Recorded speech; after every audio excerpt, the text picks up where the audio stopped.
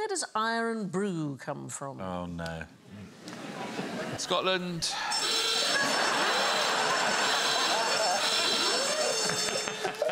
The first mention is in 1891 in Kingston, Jamaica.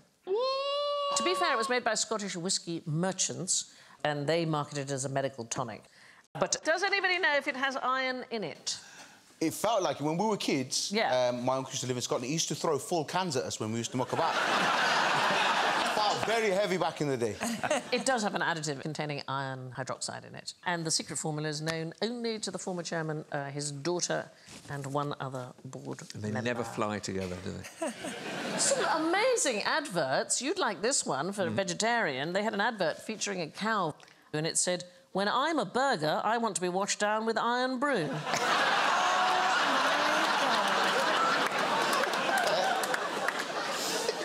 Seven hundred complaints. they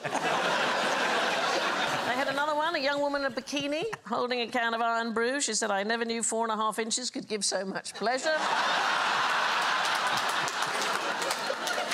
Another one with a newborn chick read, There's nothing better than Irn-Bru when you've just been laid. More power to them.